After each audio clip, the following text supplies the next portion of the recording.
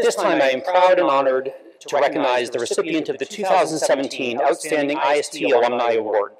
This award is given to an outstanding Penn State IST alumni who, who, is, who have achieved success as leaders in their profession and who have made an impact on society. This award is one of the highest honors bestowed by the College of IST. Will Steve Garguilo please join me on the platform?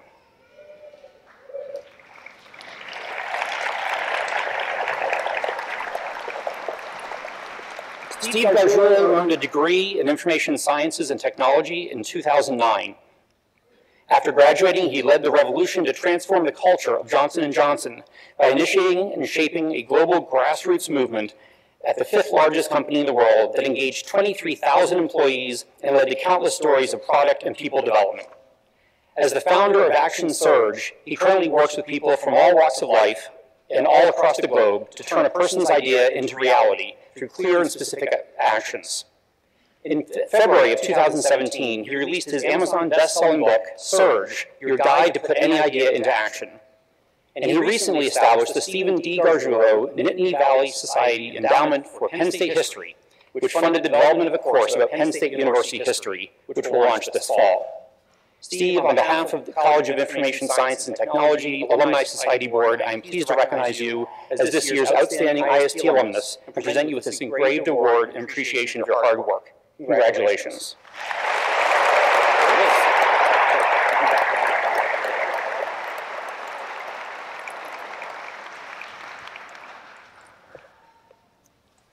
All right.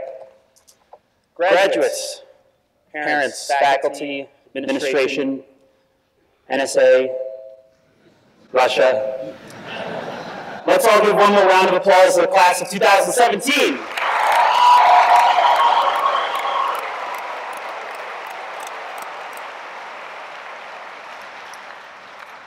Your other speaker this afternoon was the co-founder of a social platform with over 290 million monthly visitors. It is one of the most visited sites on the internet and has provided an incredible conduit for global dialogue. I have a TEDx talk that has garnered 4,532 views. Penn State believed correctly that they needed some additional wisdom from me. On February 2010, uh, February 10th, 2017, I was asked if I'd be willing to give this speech. And of course, my reaction was, wow, what an honor. I knew that over the course of the next three months, I would vigorously prepare to give the best, most profound commencement speech of all time. I had such great intentions and immediately wanted to jump in. But a few weeks went by, then March went by, then April went by, and then Thursday went by. And 48 hours ago, with a blank sheet of paper still in front of me, I decided that I'm probably in a situation that none of you are familiar with. And I decided if I was going to get this done, I needed to go to the best place in the world for people who need to get things done Reddit. And thus, on Thursday night, I posted a thread on Reddit inviting the world to contribute to this commencement speech. Here are some of the best lines that I got back. If you learn nothing else about yourself, make sure you find your sleep number. Take the time in the store, test it out the bed, figure it out. Sheetz and Wawa are actually both great, but Sheetz is a little bit greater. When I graduated, when I graduated, and this is true, Barack Obama was the president of the United States. So, so clearly that was about 30 years ago. Go on eBay and order a Papa John's flag to keep in your car, because then you can literally park anywhere you want for as long as you want. It looks like it's just for hippies, but you should really try slacklining. Learn how to hang drywall, you never know when you're going to need it. And finally, there's no I in team, but there are three eyes in information sciences and technology. So we have enough to keep one eye on the ball, uh, which makes bail, and that's very important. Uh, and then there's one more eye for pirate. Yeah, that Reddit guy was crazy. Who says you can't get other people to write your commencement speech? I published a book earlier this year called Surge, which is all about the science of taking action, and what either sparks people to act or holds people back from acting.